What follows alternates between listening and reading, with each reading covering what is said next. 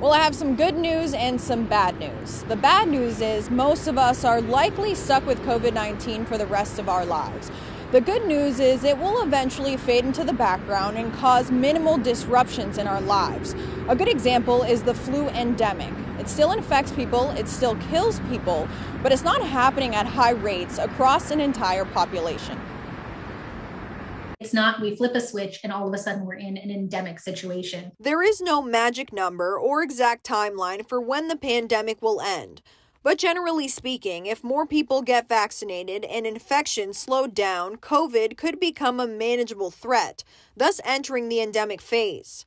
Michigan's chief medical officer says health leaders are already planning for it. That will change how some of our COVID response works, how our testing response works, how our contact tracing and case investigation works. So we are definitely looking long term. Certain cities with high vaccination rates, like San Francisco, are already beginning a phased approach to endemic status by easing COVID restrictions. Dr. Matthew Sims says in a lot of cases, the so called return to normal may be happening too fast.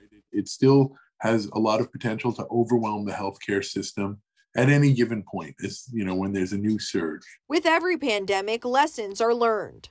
I think that one of the things we've learned um, as a um, as a country is that we need to invest in public health infrastructure so that we're ready for the next pandemic so that we're ready for other public health threats in the future. And we as a society adopt new habits. After the pandemic do you think that you'll keep wearing masks? Yes i will.